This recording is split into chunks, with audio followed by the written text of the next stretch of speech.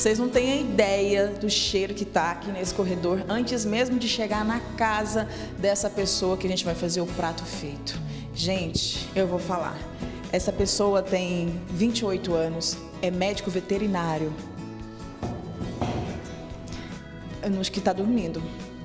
Ele é músico, gente. Deve ter passado a madrugada fazendo show. Olha quem é! Guilherme Talma. Tudo jóia? Obrigada por nos É receber. isso, fica à vontade, vem aqui. Vem cá. entrar. Menina, e esse cheiro que já nos recebeu lá no portão? Não, é, eu já comecei a preparar aí, né? Fiz todo o mise en place, que chama, eu pesquisei aí. Eu não sou um chefe de cozinha não, mas eu já preparei, já fiz, é, deixei tudo pronto, pré-pronto, pra gente começar a cozinhar. Tava esperando vocês, aliás. Infelizmente, a tecnologia da televisão ainda não transmite o cheiro, mas é muito bom. Fala pra mim, você costuma cozinhar mesmo? Na verdade, eu gosto de cozinhar porque eu gosto do meu tempero, entendeu? Eu não sou um cara que segue uma dieta restritiva e tal. Eu nasci magro, sempre fui muito magro. Mas eu gosto de cozinhar porque eu gosto de colocar o meu sal a gosto, gosto de colocar manteiguinha tal. E, quan- e quando a gente põe da forma que a gente quer, não tem como reclamar, né? Então, E eu já vi aqui que tem, olha lá, um cavaco, viola. O que, que é aquilo, violão? é viola, cavaquinho, tem violão lá pra dentro. Não tem nem 30 anos a pessoa, é cozinheiro, é músico, é médico veterinário, gosta de cuidar de casa, de comida. Isso é uma raridade, tem que dar curso pro povo aí. Aliás, é uma dica aí pra você que é feio, cara. Pra você que é feio, você tem que saber três coisas: tocar violão, cozinhar e dançar. Vai te ajudar. Fica a dica aí, falo por experiência própria. E me conta uma coisa, que prato é esse que você vai fazer hoje? Hoje a gente vai fazer um prato diferente, que é camarão. Meu pai gosta muito de camarão. E a gente vai fazer um camarão com arrozinho, uma batatinha diferenciada ali, uma batata roots. Ah, bom pra semana da Páscoa, né? Demais, justamente. Imagina só fazer um domingão de Páscoa pra família, super prato. Meu, meu pai sempre fez, e, e o Thiago, o Thiago Gomes, que é chefe de cozinha, amigo meu também, ele que, que me, me, ajudou, ele que me ensinou a fazer esse prato. E é bom demais, eu gosto mais de camarão, gosto de pescar também. E vamos aí, vamos cair pra Então dentro. vamos começar? Vamos começar. Caneta e papel na mão para anotar todos os ingredientes necessários para esse camarão com arroz.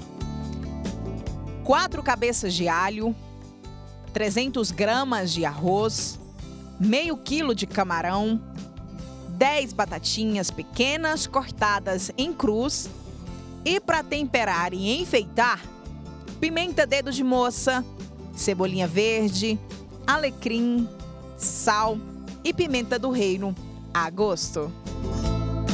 E o nosso chefe Guilherme Talma já tá aqui prontinho. Agora sim, tá no espírito. Agora sim, agora eu estou devidamente trajado aqui, né? Pra, pra minha proteção e da comida também. E vamos aí, vamos, vamos começar? Vamos começar. Primeiro passo, já vi que você separou aqui os alhos. É, eu já deixei tudo separado aqui. A batata aqui, eu gosto dessa batata aqui, é, de fazer ela de uma forma bem, bem, bem rústica mesmo. O nome dessa batata é batata rústica, aliás. Você joga aqui um pouquinho, coloca um pouco de azeite, joga um fio de azeite. Jogou de forma rústica, De forma rústica, assim, bem colocou azeite, à vontade. Um pouquinho de sal, esse sal aqui é aquele sal rosa, famoso sal rosa, justamente. mais saboroso, tem mais nutrientes. É, ele é um pouco, ele é mais saudável, né, que o, que o sal branco refinado. Batata com sal é tudo de bom, né? Demais a conta. E essa batatinha aqui, ela, como ela vai ser assada, então não tem problema comer. O que, que é isso tá pondo aí? Um pouquinho de pimentinha do reino, né? A gente dá uma moída. Eu sempre quis fazer isso aqui na televisão, aliás, ó. É chique, né? Aqui, que beleza. Tá famoso. De pimenta do reino. Põe um pouquinho também de alecrim. A gente joga na mão. Cheiro bacana. Justamente para dar uma aromatizada. E aqui meio que já foi, é isso aqui mesmo. Aí eu já deixei o forno pré-aquecido ali. E a gente vai levar ao forno em torno de 30 minutos. No forno a 200, põe no, eu vou botar no máximo ali que é 250 graus. Até ela dourar. A hora que ela estiver douradinha, a gente tira. Só dá uma olhadinha. Vamos lá? Então vamos lá. Cê tá doida, ela tá linda. Tá aí a prova,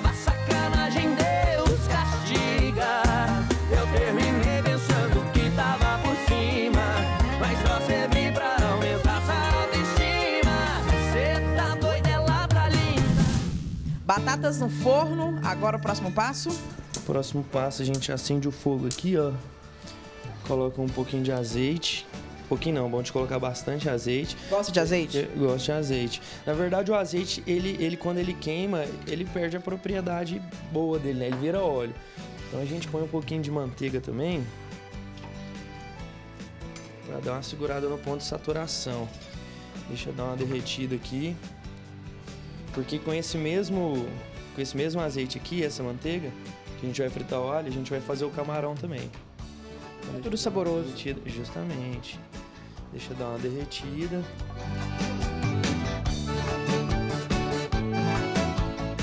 E agora coloca o alho. Justamente. Agora é a hora que sobe aquele cheirinho bom.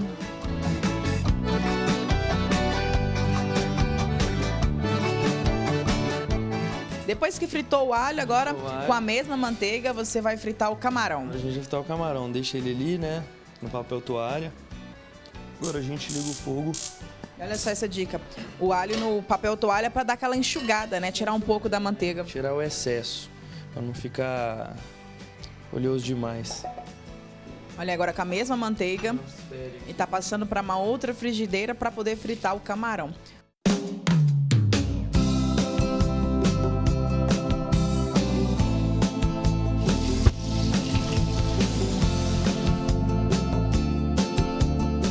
A batata acabou de sair do forno, tá bem tostadinha. Me diz uma coisa, agora o próximo passo.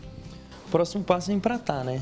Na verdade, assim, aqui eu já estaria colocando no prato e comendo ao mesmo tempo, mas como a gente vai fazer uma coisa bonita, uma coisa diferente, Enquanto a batata tava no fogo, o arroz está cozinhando. justamente, o arroz já tá ali quase pronto, praticamente pronto, porque E o arroz é feito daquele jeito que a senhora faz aí na O sua arroz casa é mesmo. normal ali, você coloca o arroz, refoga, coloca água, deixa cozinhar.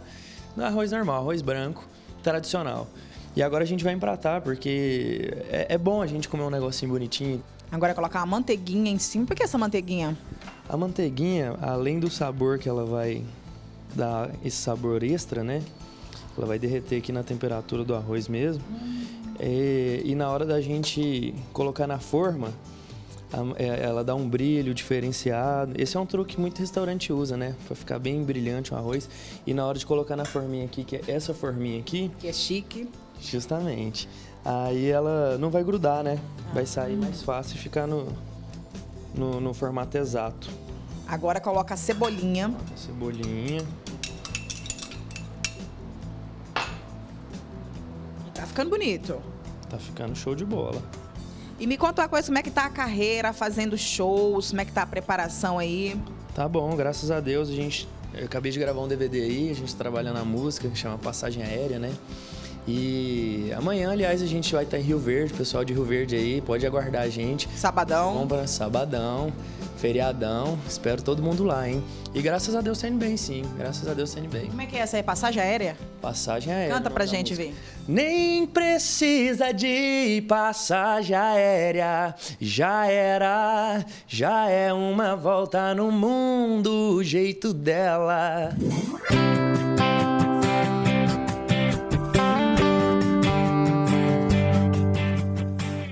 Prato do Guilherme Talma já tá prontinho, montado. Ficou bom, hein? Parabéns. Você viu já que eu, eu me esforcei, eu fiz o que eu pude, viu? Não sou o melhor não, mas eu tentei. Muito bom.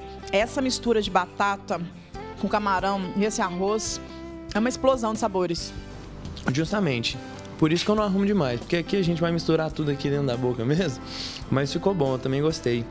É, eu gosto muito de batata assim. Eu não como muito arroz, mas a batatinha com camarão, quem não come arroz também, pode fazer em casa. Fica a dica aí. Eu sei que tá na hora do almoço aí do pessoal de casa, aí de cá também tá. Então eu vou ficar por aqui porque eu vou comer isso aqui tudo, né? Que eu não sou boba nem nada. E daqui a pouquinho você vai tocar mais música pra gente aqui. Vamos, a gente vai tocar mais. E confere lá minhas redes sociais também, Guilherme Tal, meu Instagram, meu Facebook. O site está em construção. Confere as músicas novas lá. Em todas as plataformas digitais também já tá meu CD. Então vamos comer depressa que você vai tocar pra nós. Vamos, vamos, vamos, vamos, vamos. Chega a ser esquisito. Bato o olho em você e dá isso. Precisa de passagem aérea. Já era, já é uma volta no mundo. O jeito dela.